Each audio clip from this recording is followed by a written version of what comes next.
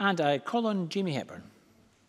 Uh, Presiding officer, I uh, welcome this opportunity to update Parliament on progress towards the delivery of the Fair Start Scotland Employment Support Service, one of the first powers devolved under the 2016 Scotland Act. This is uh, an important milestone for employment support here in Scotland. It is an opportunity to make employment services work differently and more effectively for the people of Scotland.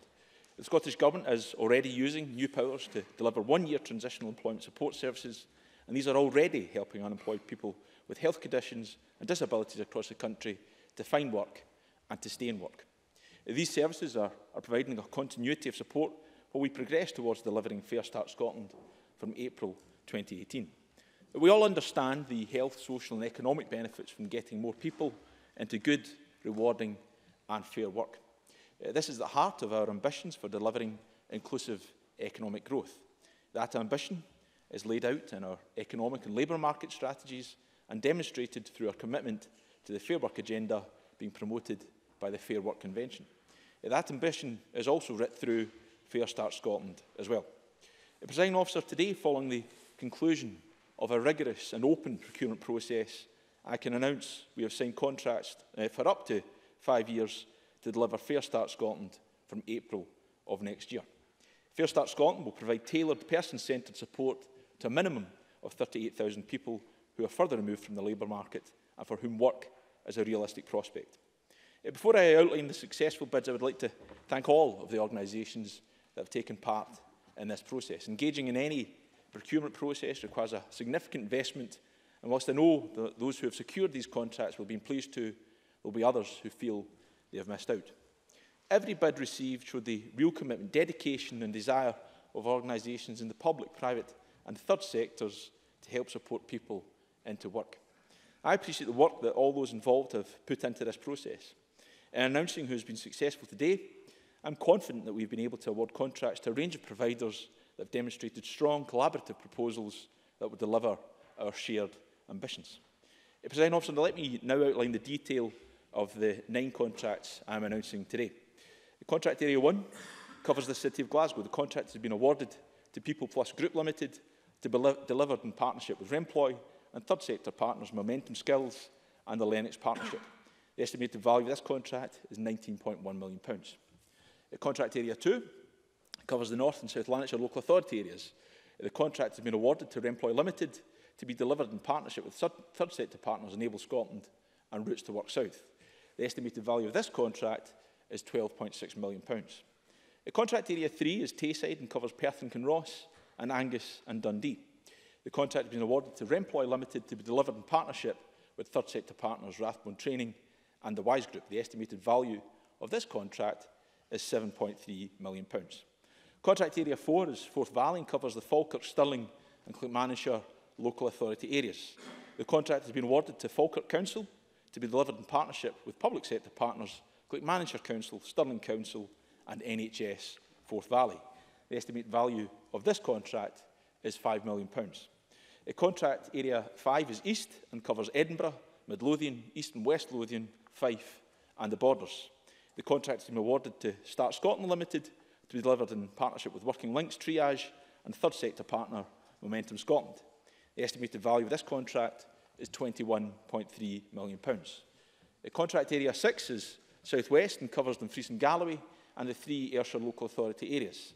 The contract has been awarded to Start Scotland Limited to be delivered in partnership with Working Links and third sector partners Rathbone Training, the Lennox Partnership and the WISE Group. The estimated value of this contract is 10.1 million. pounds. The contract area 7 is northeast and covers Aberdeen City and Aberdeenshire local authority areas. The contract has been awarded to third sector organisation Momentum Scotland to be delivered in partnership with Life Skills Centres Limited and Enterprise Mentoring Limited. Uh, this contract we delivered alongside third sector partners Enable Scotland, Aberdeen Foyer and the Scottish Association for Mental Health. The estimated value of this contract is £5.6 million. Pounds. The uh, contract Area 8 is Highlands and Islands and covers Argyll and Butte, Elan Shiar, Highland, Murray, Orkney and Shetland the contract has been awarded to People Plus Limited. This contract was delivered in partnership with a mixture of public, private and third sector partners of, our, of Argyll and Butte Council, Life Skills Centres Limited, Lochaber Hope, Momentum Scotland, Third Sector Hebrides and 2020 Clearview Limited. The estimated value of this contract is £6.2 million. Pounds. And finally, President Officer, contract area 9 is West. This contract area covers East and Western Bartonshire, Eastern Renfrewshire, Inverclyde and Renfrewshire. Uh, this contract has been awarded to the, the third sector organisation, the WISE Group, and we delivered in partnership with Working Links and third sector partners, the Scottish Association for Mental Health, the Lennox Partnership, Enable Scotland and the Royal National Institute for the Blind. The estimated value of this contract is £8.8 million. Uh, under the provisions we have laid out, the contract for the West area was specifically reserved for supported businesses to bid into. This is the first time we have exercised this power, demonstrating this government's commitment to that sector. It supported business, provide vital permanent employment for those disadvantaged in the labour market, and we are determined to develop a more diverse delivery market for employment support through devolution. This is why, unlike previous approaches, we have used devolved powers to reserve one area for bids from supported businesses. If whilst the WISE Group has secured the specific contract under the reservation for supported business in the West area, where we've also seen success, successful bids from a supported business in two other lots, Remploy in Lanarkshire and Tayside, and involvement from both organisations in other areas as delivery partners, demonstrating the strength of that business model. Presiding officer, we have evaluated the bids we've received to secure best quality and consistent provision across the whole of Scotland, and we will rigorous, rigorously performance manage the service to ensure this is delivered. This is crucial to helping us ensure continuous improvement in the public services we can offer people. Uh, we have listened in public consultation. We have listened in ongoing stakeholder engagement. And we have listened to the devolved employment services advisory group that's helped shape, develop and test our devolved employability approach. I want to place on record my thanks to Professor Alan McGregor, the chair, and to the third private and public sector members of that group. As we enter the delivery phase of Fair Start Scotland, I can confirm I plan to develop that consultative approach further and to continue to listen to a diverse range of voices as we deliver Fair Start Scotland and a more aligned, wider employment support landscape. If Fair Start Scotland will see unprecedented levels of partnership delivery. The joint working we will see between private, public and third sector delivery partners across Scotland will be a real strength of our new approach. This is not simply business as usual. We are taking a partnership approach in Scotland that will see more than half of provision delivered by supported business and by third sector and public sector bodies. It was Fair Start Scotland has been designed nationally, all services will be delivered locally through new consortia and featuring a range of specialist providers to ensure that people receive the right type of support from them. And we are taking a different approach to the UK government by funding these services appropriately, committing an additional £20 million each year from our budget over and above the significantly reduced funding being provided by the UK Government. The Presiding Officer, today I am laying out who will deliver our Fair Start Scotland programme through the contracts that have been awarded. But much more critical than that, we must remember that the delivery of this programme is about providing support to people who need it. Our vision for Fair Start Scotland is clear. We are using devolved powers to deliver a distinct and different approach to employment support in Scotland. Our approach is significantly different than previously seen in UK government programmes. We are putting people at the centre of these services and treating them with dignity. Fair Start Scotland will have respect and fairness at its core, supporting people to achieve their full potential. We are listening to the views of people who rely on these services and we will continue to do so. We are better reflecting the reality of Scotland's geography, regional economies and population spread with nine contract areas rather than simply lumping the whole of Scotland together as one contract package area, as has been the case under the UK Government. We're also delivering differently by ensuring providers have committed to a wider fair work, workforce and community benefits agenda as part of their bids, including paying the living wage and avoiding use of zero-hours contracts. And crucially, as this Parliament has endorsed by overwhelming majority, Fair Start, Start Scotland will be voluntary, working with unemployed people to encourage them to take the opportunity of support towards work not threatening them with sanctions by the Department for Work and Pensions. This is in keeping with our desire, through all of our new employability and social security powers, to treat people with dignity and respect. Presiding officer, our employment programmes are not about supporting organisations, sectors or institutions. They are above all about supporting people. People who deserve to be supported through a person-centred and tailored approach that meets their needs. People who deserve to be supported to achieve their full potential. People who deserve to be supported to enter work and retain a job. People who deserve to be treated with dignity, respect and fairness to get on life. Presiding officer, just as is the case with the approach by this government to all its endeavours, people will be at the core of our approach to taking forward Fair Start Scotland.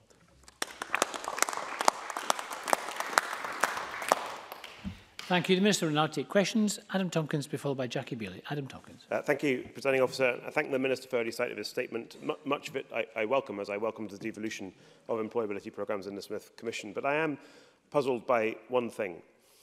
Um, David Semple of the PCS union at the Social Security, last, Social Security Committee last week explained his union's absolute opposition – to the involvement of the private sector in all devolved aspects of social security, employability services included. Um, he said that his union's opposition was not ideological but based on performance. None of the privatised employability contracts have had the same delivery outcomes as previous state-run programmes, he said. Now, the minister knows I don't agree with that, but I thought Scottish ministers did. After all, Jean Freeman has explained to loud applause in this chamber that devolved D DLA PIP will not be administered by the private sector. So why has Jamie Hepburn signed contracts, not only with the private sector, but I note with one of the very companies that delivered the work programme in Scotland, a programme that the minister has previously condemned? Is this not a case of the SNP saying one thing and doing quite another? Minister.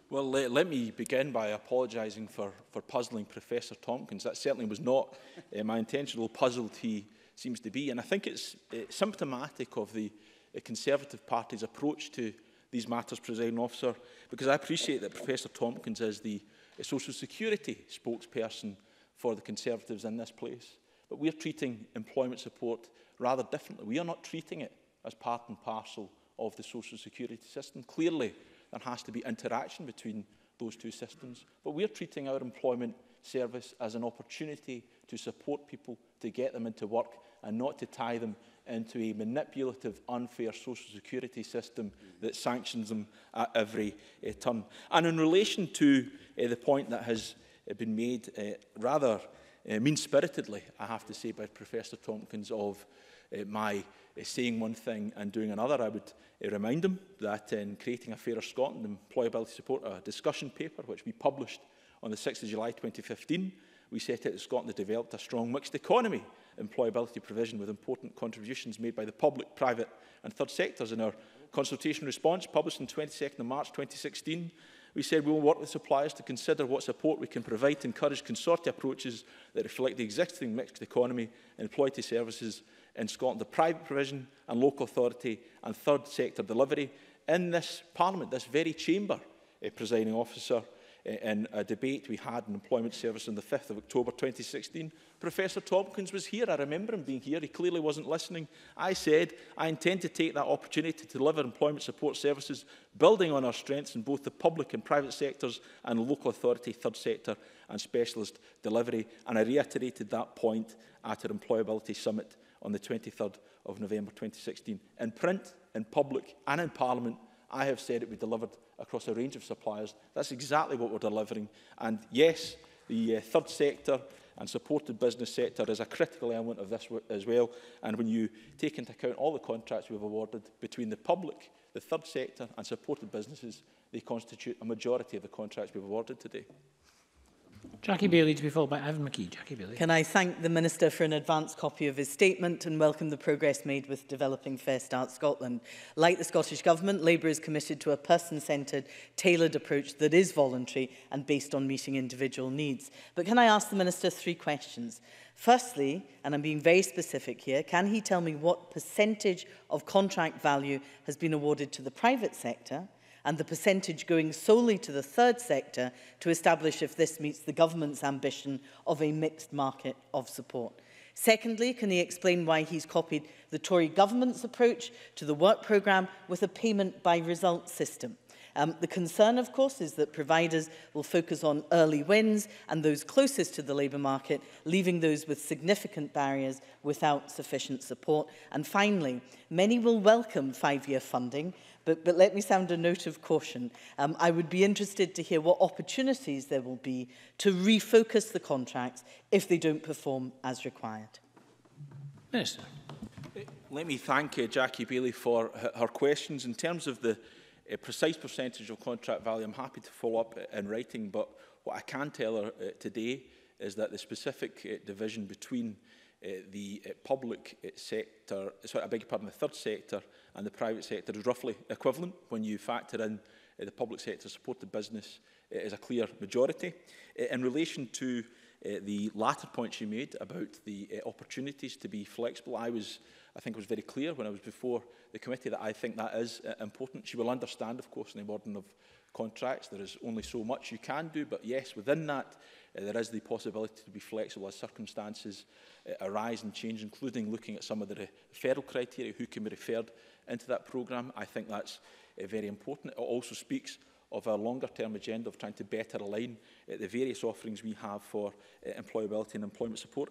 In relation to her suggestion that we are copying uh, the Tory uh, model here, I, I have to refute that uh, utterly, uh, and I can run down Eh, uh, uh, and I will run down the range of ways it is different between what has gone before and what we expect to happen with the Work and Health Programme. She it says that she shares our ambition for a voluntary service. Our service is going to be voluntary. That has not been the case with the programme previously. It is not going to be the case with the uh, programme that we see uh, with the Work and Health Programme. In terms of uh, the a consistency of service, we have laid out very clearly a minimum expectation of uh, providers. That has not been the case with UK government programmes in the past. It is not expected to be the case with the work and health programme that the UK government are going to be. Don't worry, Ms Bailey, I'll come to payment by outcome, but I think it's very important I place on record why the suggestion that we are replicating the UK government's approach is utter nonsense. So let me finish that and I'll come to your last point. In terms of the work and health programme going forward, we uh, see that eh, there is going to be the same approach by the UK government that providers are setting eh, their own eh, standards. In terms of the length of support under the Work and Health Programme, we are actually seeing a reduction in the amount of time that a, a client or person may be uh, supported, as was the case under uh, the Work Programme. A reduction in length of time where we will have up to two and a half years uh, uh, support. We are embedding in our approach an individual placement and support service of those with uh, mental health,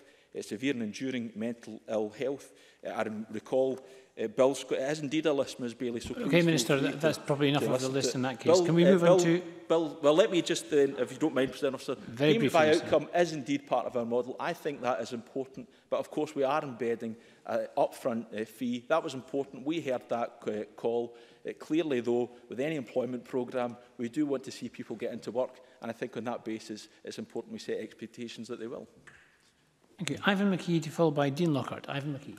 Thank you. Reminding the Chamber of my role as Parliamentary Liaison Officer to the Cabinet Secretary for the Economy. Can I ask how will the Government align their programmes with existing health and social care support and what impact does the Minister expect this to have on other public services? Minister. It, eh, well, I, as I just uh, alluded to uh, uh, a moment ago, uh, integration and alignment of services is uh, critically uh, important for uh, uh, us as an administration. There will be uh, that opportunity through the range of providers we've put in place to begin that uh, work. Uh, we have also uh, announced a, a £2.5 million pot of funding uh, that I've already made uh, public for integration alignment. That's set up 15 projects working across 13 uh, local authority areas looking to better support people uh, with mental health conditions, with a learning disability, with uh, housing needs, coming out of the justice system. So the it, I, I recognise inherently the need to uh, support people in all aspects of uh, their life and their journey towards employment, presiding officer. It's not going to be just as simple as focusing purely on employment skills. There will be issues that arise in a person's life. So that's why the integration alignment agenda is so important for us and that's why we'll be taking that opportunity through uh, this programme. I would just emphasise there's eight, eight and a half minutes in the first three questions. There's nine more questioners, so if we can get through them. Dean Lockhart to be followed by Alison Johnson. Dean Lockhart. Thank you. The total value of the contracts announced today amount to £96 million. Can the Minister explain what contractual and other assurances are in place to avoid a repeat of the cost and budget overruns we have seen across many of this government's programmes? Minister. Well, uh, it's, uh, I'm very delighted that Dean Lockhart's got into the territory of uh, the uh, of the cost of this uh, service because uh, one of the things we have done is leveraged in Eh, additional eh, revenue from the rest of our budget, £20 million pounds, eh, per year, to make up for the significant cuts that his party and government sent to us as an administration through the devolution of this service. In, in relation to the uh, the assurances he seeks, that is of course set out as a, a contractual provision. We will be monitoring these contracts very closely, very carefully uh, indeed, and uh, if it is an issue that uh, the, any committee of this uh, Parliament wants to uh, ever ask me about, then I'll be happy to return to them or raise it in this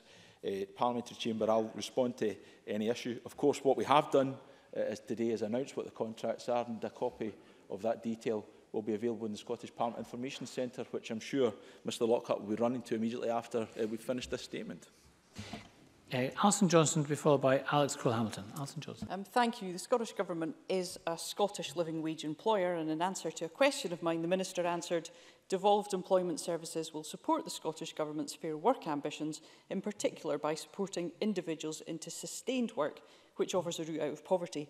Can I ask whether Fair Start Scotland will support the Scottish living wage and provide a route out of poverty by only paying providers when they place someone in employment that pays at least the Scottish living wage? Yes, well, I, I think the first uh, point to make uh, in relation to that, and Alison Johnson is quite correct to point out this government's ambitions for uh, the living wage. The first thing that we've done is taken the opportunity through the awarding of these contracts to make sure that the providers themselves are paying their living wage to those who work uh, for them as an organisation. In terms of uh, the agenda of getting people uh, into employment, uh, yes, will, we will uh, be uh, working with organisations very uh, closely and encouraging them to take every step they can to make sure that those who end up in employment at the end of that are uh, remunerated adequately. And uh, our aspiration is, of course, uh, that everyone in this country should pay paid the real living wage, and that will be no different with our approach to this agenda as it will be with any other. Alex Crowell Hamilton to be followed by Ben McPherson. Thank you, Presiding Officer, and I thank the Minister for early sight of his statement. Many of the successful bidders and their consortium members for a number of the contract areas are the same organisations who are currently delivering the service. How will the Scottish Government guarantee to people that the services they get will change for the better as a result of this process? Minister.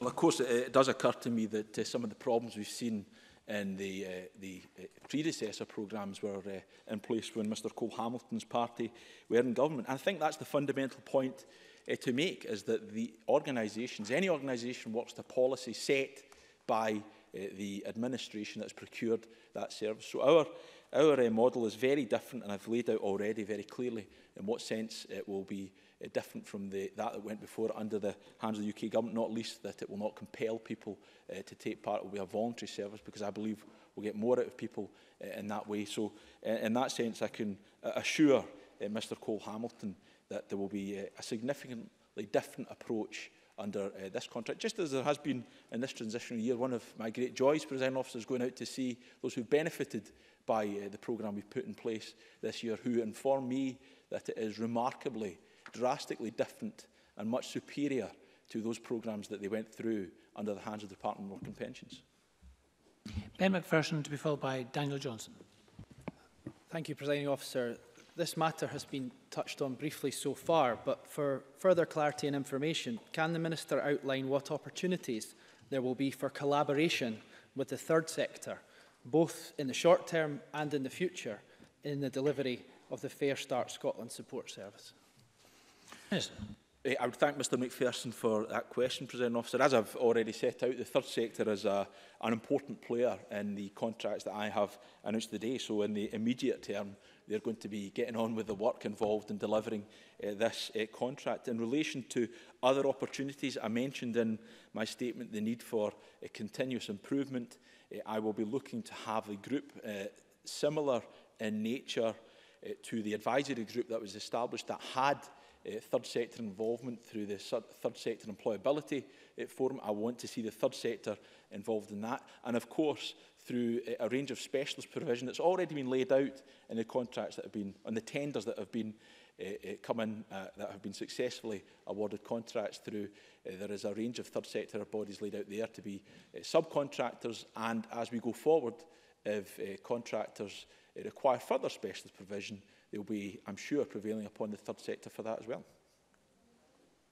Daniel Johnson to be followed by Fulton McGregor. Daniel Thank Johnson. you, Presiding Officer. The Minister uh, mentioned in his statement that these contracts would be subject to rigorous performance management. Could he go into some more detail around that measurement regime and outlining how the contracts will be evaluated and how that information uh, will be reported back to Parliament? Minister. Well, as I've just alluded to, one of the things we will, of course, be doing is making sure that we have um, that group in place to ensure uh, continuous uh, improvement. Uh, my officials will uh, be uh, rigorously uh, assessing the, uh, uh, the efficacy of the, um, the contracts we've been putting uh, in place to see how uh, effective they have been in uh, reaching the numbers we want to see. We want to see at least 38,000 people supported through Eh, the contracts we put in place. We're looking very closely to make sure eh, we are reaching eh, that ambition. And of course, as Parliament would expect, we will regularly publish statistics and make them available for the consumption of members of this Scottish Parliament and for the wider public uh, to see just how we're doing in that regard and uh, I'm sure uh, I will be returning to answer questions about that in the future. Fulton McGregor to be followed by Jamie Halker-Johnson. Thank you, President Officer. Can the Minister expand a bit further on the rationale for the nine contract areas and what impact he expects these to have? Minister. Uh, yes, uh, I, uh, uh, I think one of the things that we saw very clearly and heard very clearly was a, a concern that the, some of the, uh, the manner in which the previous contracts had been procured uh, did not reflect some of the, uh, the geographies that we, uh, the geography we have here uh, in uh, Scotland it were too uh, large. That uh, precluded uh, a number of organisations from being uh, able uh, to bid. We have worked with a, a range of people involved and organisations involved in the delivery of a range of employability interventions, including a local government. One of the things we heard back it was a, a preference from, for example, the Scottish Local Authority for Economic Development uh, who suggested we should have eight areas. We looked at their proposition, thought it was more or less right, but actually nine would be uh, a better reflection on uh, uh, delivery, being able to deliver to local circumstances. Uh, of course, we were looking at this very closely uh, to see, uh, again, how effective that has been. Uh, and when it comes uh, round uh, at the end of these contracts, depending on the direction we want to take, uh, we'll look uh, very closely to see how effective that approach has been. Jamie Halco-Johnson to be followed by John Mason. Uh, thank you, Presiding Officer. Um, the Minister has already suggested that detailed outcomes data will be publicly available from all providers to ensure the effectiveness of each regional contract. Could he tell us what uh, stages the data will be provided? Minister. Uh, I, I'm not quite able to say that today, uh, Presiding Officer. I have made very clear uh, my uh, commitment. It's on the record now that we will be providing that information. Uh, it will be uh, regularly published. It will be uh, regularly available. Uh, and I, I, I make that commitment. And uh, as soon as that becomes uh, a confirmed position in terms of when we will make that information available, then we'll let uh, everyone and uh, who, every member of the Scottish Parliament know uh, that. And uh, if I have further questions about that, I'll be happy to respond to Mr Halcrow Johnson or, or anyone else. John Mason to be followed by Gordon Linders. John Mason. Thank you. Can the Minister say anything about those who are currently receiving employment support and who might be a bit concerned about how the transition will work?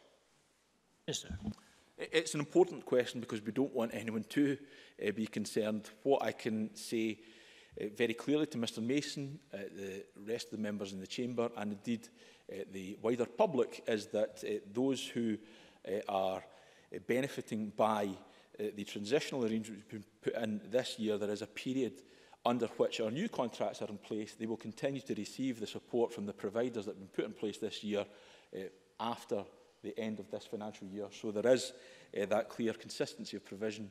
So in that sense, no one needs to be worried. Gordon Lindhurst to be followed by Stuart McMillan. Gordon Lindhurst. Can the Minister offer insight into how adequate provision was made for local specialised services to participate meaningfully in the procurement process in their own right? Minister.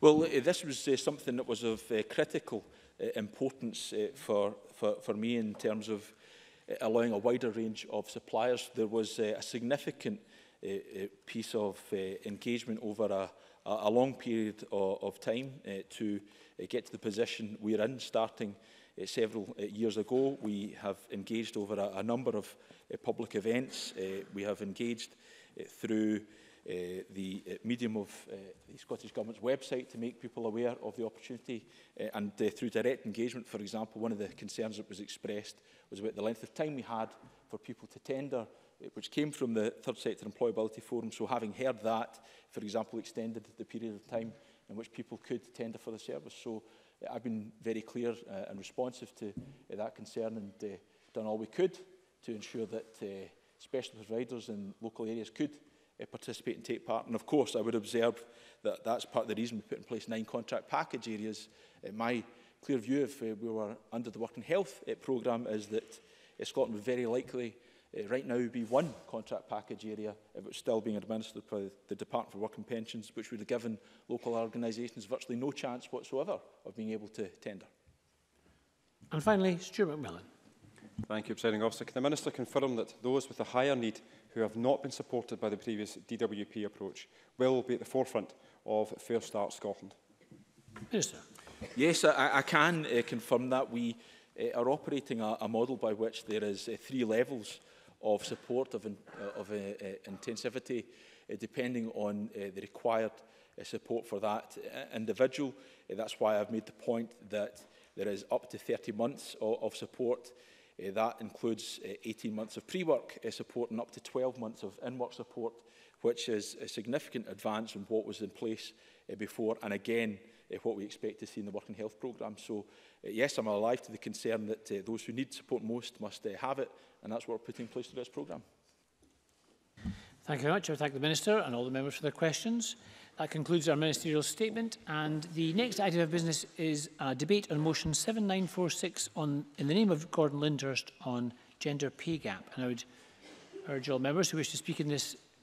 debate to press their request to speak buttons now.